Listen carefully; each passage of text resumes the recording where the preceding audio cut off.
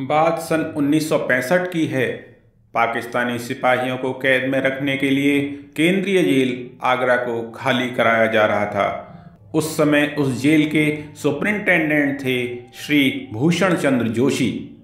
आप कहते हैं कि जेलों के आईजी साहब जो उस समय वहाँ उपस्थित थे, वे बोले, आप अपना सामान बाँध लें।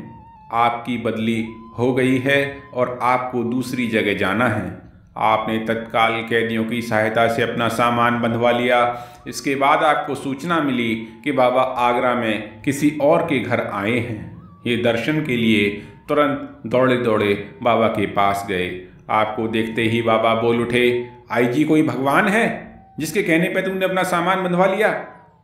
हम कहते हैं, जा, सामान खोल दे। अभी तेरी बदली नहीं होगी। आप बाबा के अनन्य भक्त थे। आपने घर लौटने पर उनकी आज्ञा का पालन किया। इसके बाद भूषण जी को जो लिखित आदेश प्राप्त हुए, उसके अनुसार उन्हें इस जेल की देखरेख का भार सौंपा गया। इसके कारण उन्हें सन उन्नीस सौ अड़सठ तक वहाँ रहना पड़ा। बोलिए, सदगुरुदेव भगवान की जय।